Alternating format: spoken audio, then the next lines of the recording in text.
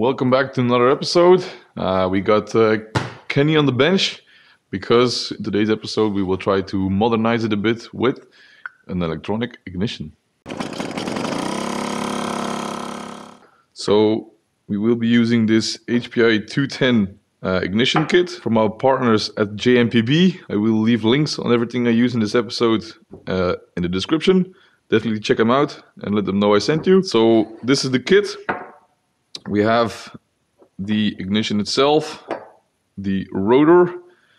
It's a very lightweight, so low inertia, which is good for RPMs. And the stator. They do have different backing plates for this uh, ignition, so definitely measure which one you need. Uh, for the RD, I think they are all the same. Uh, also for the DT, because they share an ignition system. So I think this is the same for the RD50DX or the M. Uh, I'm not sure about the MX, but I think it's the same as well. We have the original CDI that comes with the kit and the coil, but I've also ordered a, a, double curve CDI. So this thing has two curves, two ignition curves. This double curve CDI has a base curve. The red curve is the their standard 2Ten curve, which comes on the original CDI. And the double curve one has an extra curve, the blue line. At 6000, we have 20 degrees on the red line and on uh, the blue line we have 25 degrees. So it's a 5 degree uh, retarded curve. So we can play a bit with ignition timing which will be ideal for this bike I think because as mentioned before this thing lacks uh, low end torque. So maybe we can use one curve for the low end power and then switch over to a high RPM curve without further ado let's start with taking the old ignition out of the bike and let's put this thing in then.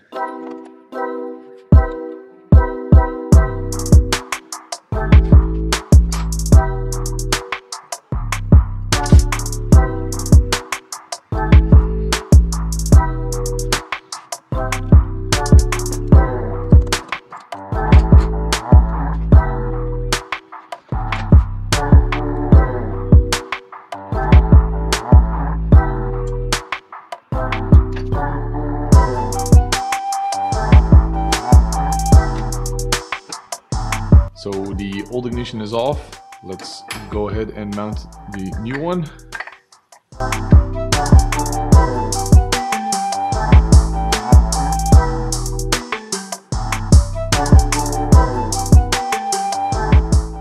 Nice and snug. I've chosen to get the wires out on top so that way I can sneak them this way and then up here which should be perfect. Next up, we actually have to remove the spark plug.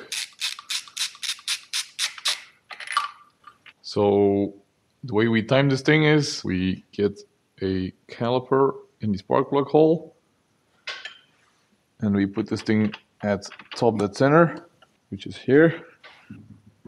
Measure this up and we add two millimeters and we put the piston two millimeters before top dead center. So 24.7, that makes 26.7. We continue to rotate the engine and the, let's do it again.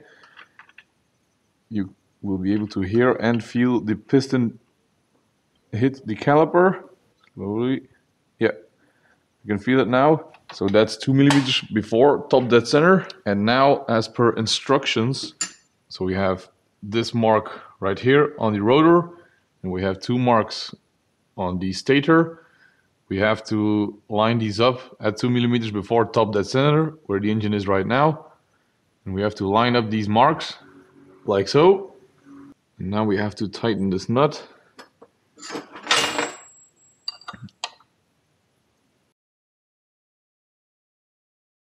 So small sit rep uh, when we try to fit up the rotor uh, it just when we tighten the nut it just clamps onto the stator and then the whole engine is stuck.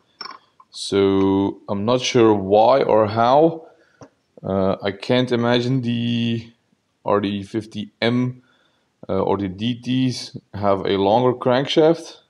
I wouldn't really know why but I have a slight feeling that maybe this base plate, the red one, is sticking the stator out too far. Uh, so I'm going to do for a test, uh, just to test fit the rotor, going to take this off and just fit the rotor as is, see if that fits. And maybe we have to work something out with a slimmer base plate, which is pretty strange because this thing should be for an RD50. So I've done some measuring. If I put the rotor onto the crankshaft without the stator and base plate, the threaded part sticks out to the surface where the nut has to get onto. 17 and a half millimeters but with the stator assembly we only have 9.3 millimeters. I'm not sure but uh, that seems like a lot of difference. So if i tighten the nut the rotor just jams itself onto the base plate and the engine is stuck. So welcome back. It's actually been a couple weeks because uh, we had to modify pretty much everything on this ignition to make this thing fit. So what we did, we, or a friend of mine, uh, turned the base plate down on the lathe. So there's actually a lot removed here. Also removed one millimeter of the stator plate. And there used to be a little lip here on uh, the middle part of the rotor. And that's now also has been removed. So that's also one millimeter less. So hopefully this thing should fit now. Let's try to fit it and see what we get.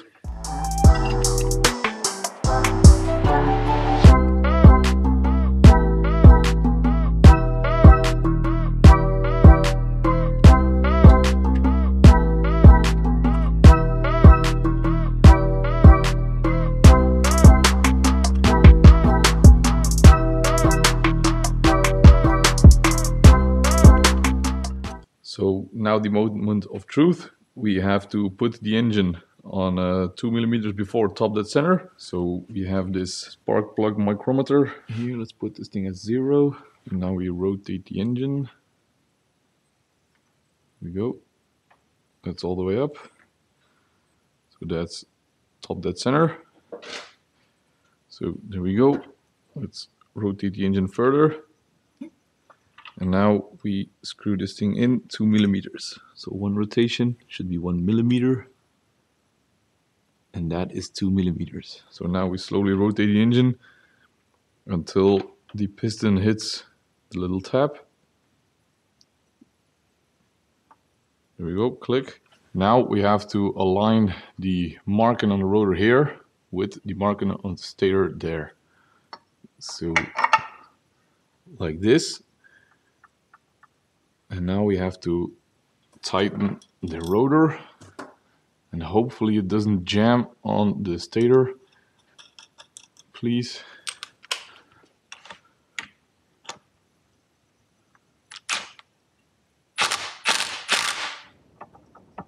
Hey. It's on. Let's go. And it doesn't it's not stuck. Awesome so now let's take out the spark plug micrometer. Now uh, let's see if we can hook up the CDI and the signal wire for the coil. I'm not going to swap the coils because uh, they are literally the same coils. This thing works fine, so I'm going to keep it in there. Uh, I just have to make an adapter for uh, the wire from the CDI to my signal wire here. So this is the base uh, CDI with one curve. I'm just going to see if we can uh, fire this engine with this thing. All we have left to do is connect this with ground and this with signal, I think. Let's see. Uh, yellow is light. Wait, this has to be ground. Ah, the black and white is actually to power down. So if you connect this with ground, we turn off the bike. So orange is the signal wire for the uh, coil. And black should be connected to ground. So just temporarily, I've uh, connected the CDI with the signal wire here with an adapter and the black wire on the CDI is connected to the coil here, just temporary to see if we have spark and if we can get this thing to fire up, then we can mount everything properly. So let's see if this thing will spark. Uh, no, nothing. Why not? Oh, wrong wire. Damn. I've connected the wrong wires. So apparently there are two black and white wires on this wiring loom. So now we have the orange wire from the CDI connected to the coil. Hopefully we get some spark now. we get spark. It's a small spark, but maybe that's because... I'm not sure why.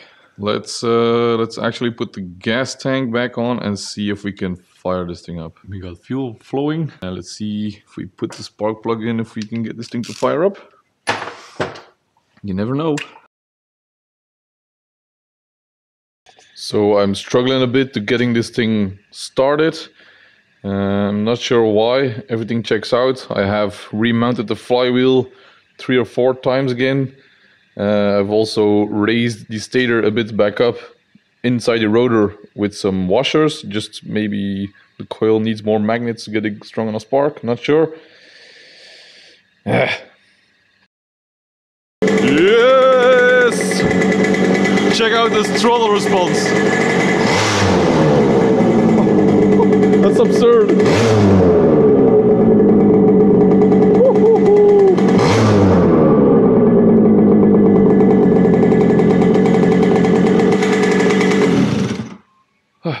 That's for now my only way to stop it.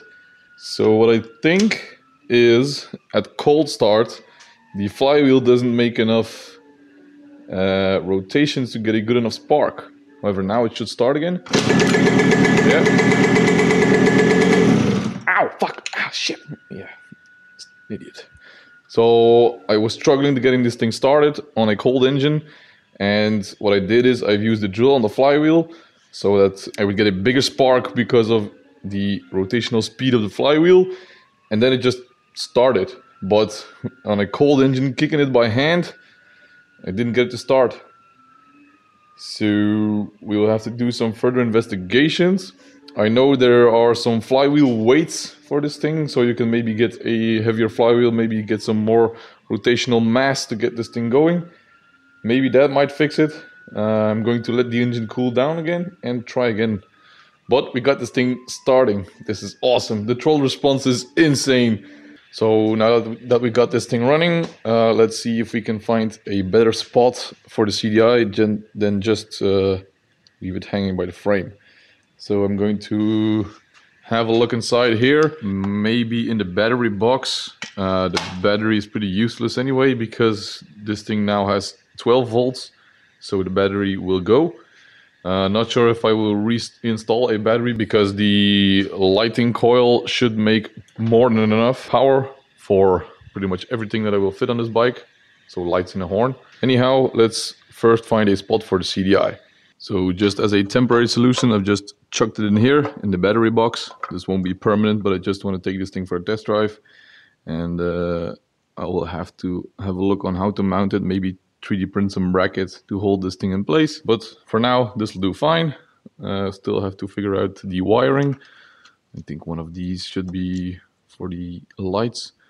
Although I have to change the bulbs first because they will blow out. As a summary, connected the signal wire to the signal to the coil. Black is a ground, connected this to, the, to this ground point. And where is it? The black and white wire is uh, the emergency stop or if you connect this to ground it will switch the bike off so the key is on now ah nice and now works mint. Nice.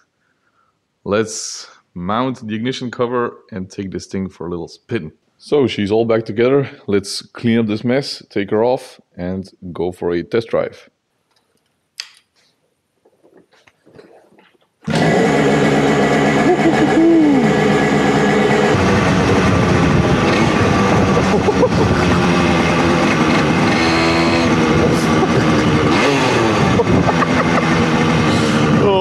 oh, what the fuck? motherfucker.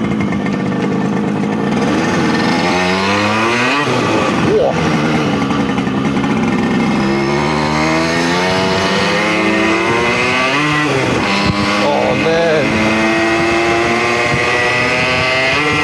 Oh man. Shit.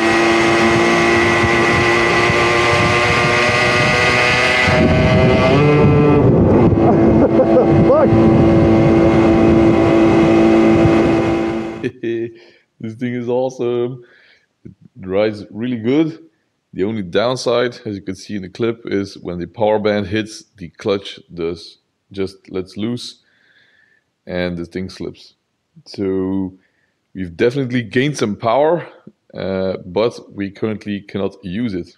So I've uh, I've just took a bit of the preload off on the clutch. So now there is a bit more play in the lever.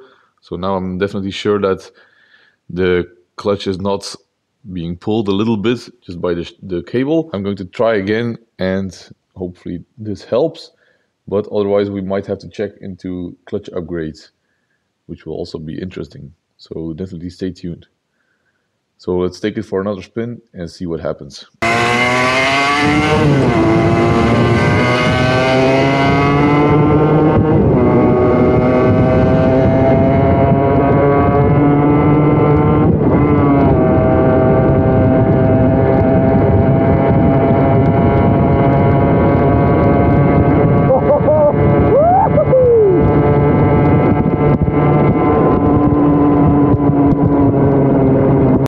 The screw in the clutch pivot definitely helped. I'm going to see if I maybe need to loosen it up a bit more. It definitely helped. We'll have to continue testing and riding to see how it acts up on the long term. This thing is actually really enjoyable now to drive, so much better than it was. We've gained power all over the line, I think. Yeah, this is awesome. We've definitely picked up a lot of throttle response. The the sound this, this thing makes when revving up, it's it's insane. As you can see in the clip, fifth gear is actually usable now. We can actually gain some speed on fifth gear instead of losing it. So I might actually have to change the gearing again, but then gear it up a bit for some more top speed. That will be it for this video, this install. Uh, one last thing I have to mention, I did uh, put some washers in between the cover because they advise you to uh, have some extra cooling on these ignitions. Uh, we might have to adapt a cover maybe, get an extra one and maybe get some slots in here or make a new one. I don't know, we'll have to see. But for now, I think this will do. I will remove the cover and check the heat of the ignition system. But anyway, this thing runs awesome. Uh, really strange that I struggled to get it starting on first start or uh, after installing the the CDI. Uh, now this thing starts on the first kick without any choke. If you put a choke on, this thing will not start. Strange, but okay. If it works, it works.